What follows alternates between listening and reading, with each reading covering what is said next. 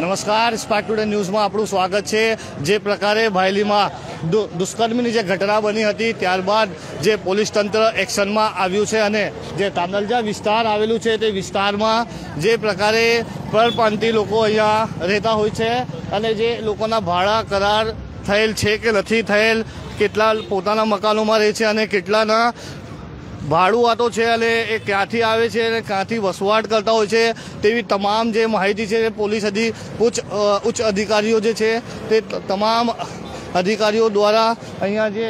તપાસ કરવામાં આવી રહી છે આ જે જોઈ શકાય છે કે જે અ, જે મકાનમાં જે રહેતા રહીશો છે, તેમના દ્વારા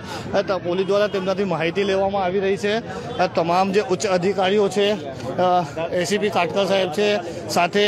જે ઝોન ટુ અભય સોનીસર પણ અહીંયા ઉપસ્થિત છે અને આ જે તમામ જે માહિતી છે, આસિયાના નગર વિસ્તારની, તે તમામ માહિતી એકત્રિત કરવામાં આવી રહી છે. જે અહીંના જે રહેવાસીઓ છે, એ ક્યાંથી વસવાટ કરવા આવ્યા છે અને કેટલા અહીંયા ભાડુઆતો છે ને કેટલા પોતાના મકાનો છે તે તમામ જે માહિતી છે તે એકત્રિત કરવામાં આવી રહી છે. ઉચ્ચ અધિકારીઓની ઉપસ્થિતિમાં આ તમામ જે ચકાસણી કરવામાં આવી રહી છે, કારણ કે જ્યારે જે બનાવો બન્યો છે,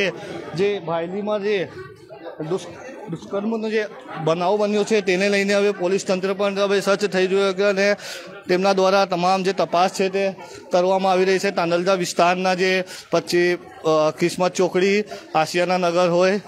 ખુશ્બુનગર હોય કે પછી તલાવડી વિસ્તાર હોય એ તમામ જગ્યા ઉપર જે છે તે તકા- ચકાસણી કરવામાં આવી રહી છે એટલે- જી સર. ત્યાં શું કહેશો કે જ્યારે દોસ્તમની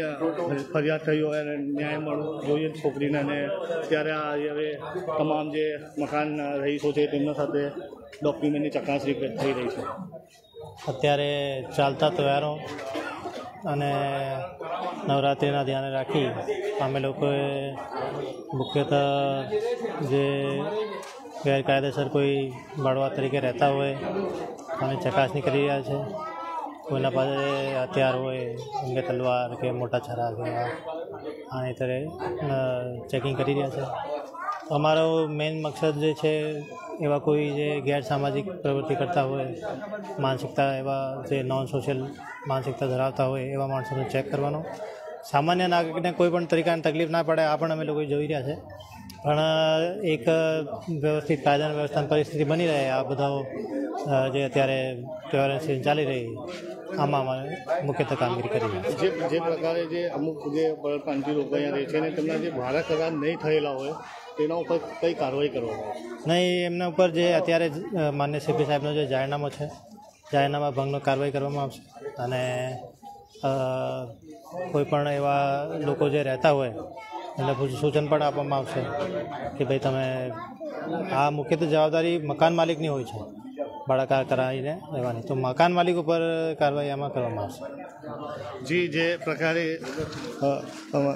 ડીસીપી ઝોન બે અભય સોની સર છે તેમના દ્વારા માહિતી આપવામાં આવી છે કે જે લોકો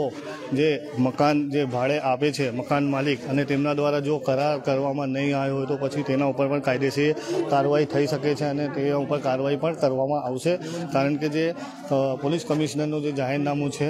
તેને લઈને હવે પોલીસ એક્શનમાં આવી છે અને પોલીસ દ્વારા તમામ જે તપાસ કરવામાં આવી રહી છે ડીસીપી ઝોન બે અભય સોની સર તેમજ એસીપી કાટકર સર અને જેપી પોલીસ સ્ટેશનની સ્થાનિક પોલીસ સ્ટેશન છે તેમના પીઆઈ સગર સર સહિત અ, અહીંયા તમામ પો- અધિકારીઓ પોલીસ અધિકારીઓ ઉપસ્થિત છે અને તેમના દ્વારા આ તપાસ જે છે તે થઈ રહી છે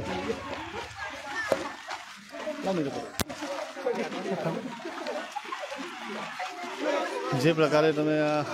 આશિયાના નગર વિસ્તાર છે તે આ વિસ્તારના જે અ, સ્પાર્ક ટુડેના લાઈવ માધ્યમથી તમે તમામ જે અપડેટ છે તમે પલની પલ અપડેટ અમે આપી રહ્યા છીએ અને આ જે વિસ્તાર છે આશિયાના નગરનું આ વિસ્તારમાં પોલીસ દ્વારા જે છે કાર્યવાહી કરવામાં આવી રહી છે અહીંયા જે રહીશો છે તે રહીશોનું જે ડોક્યુમેન્ટ છે તેની ચકાસણી કરવામાં આવી રહી છે અને અહીંયા જે લોકો ગુજરાત બહારથી વસતા લોકો છે તેમની ડિટેલ મેળવવામાં આવી રહી છે. અને સાથે જે ડોક્યુમેન્ટ તેમના લઈ લેવામાં આવી રહ્યા છે, સાથે જે આધાર કાર્ડ હોય, પુરાવા કે પછી લાઇટ બિલ હોય, તે તમામ વસ્તુઓ એકત્રિત કરવામાં આવી રહી છે. અને જો ભાડુઆત અહીંયા રહેતા હોય અને તેમનું કરારનામું ન થયું હોય ભાડા કરાર ન થયું હોય તેવા મકાન માલિક ઉપર પણ કાયદેસરની કાર્યવાહી કરવામાં આવશે તેવી માહિતી ડીસીપી ઝોન બે અભય સોની સરે આપી છે હાલ એસીપી કાટકર સર તેમજ સ્થાનિક પોલીસના પીઆઈ સાગર સર દ્વારા આ તમામ માહિતી એકત્રિત કરવામાં આવી રહી છે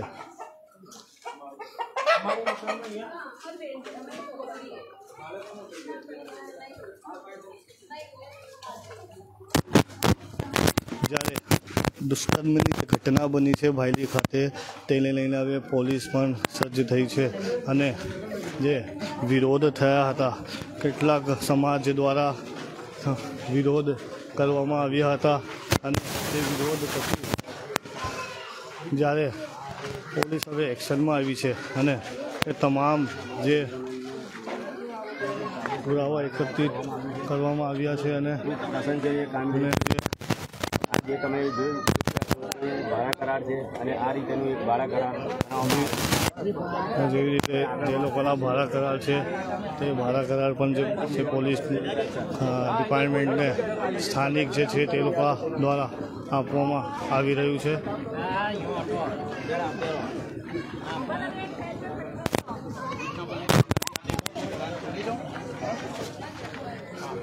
જે પ્રકારે ભાયલીમાં ચકચાર જે દુકમ નરાધમો દ્વારા ગુજારવામાં આવ્યો હતો સોળ વર્ષની વ- યુવતી ઉપર જે નરાધમોએ દુષ્કર્મ ગુજાર્યું છે ત્યારબાદ જે પોલીસ સેક્શનમાં આવ્યું છે હવે આ તમામ વિસ્તાર જે તાંદલજા વિસ્તાર છે ત્યાં આવેલી કિસ્મત ચોકડી પાસે અ, આશિયાના નગર હોય કે જે પણ સોસાયટીઓ છે તે તમામ સોસાયટીઓમાં જે લોકો ગુજરાત બહારથી વસતા હોય છે તેવા તમામ લોકોનું પોલીસ દ્વારા વેરિફિકેશન કરવામાં આવી રહ્યું છે કેટલા પોતાના મકાનોમાં રહેતા હોય છે અને કેટલા ભાડુઆત તરીકે રહેતા હોય છે શું તેમના ભાડા કરાર થયા છે કે નહીં તે તમામ ચકાસણી હવે પોલીસ એકત્રિત કરી રહી છે મારા સહયોગી ફેઝલ ખાન સાથે હું Abrar Sayyed Spark Today News Vadodara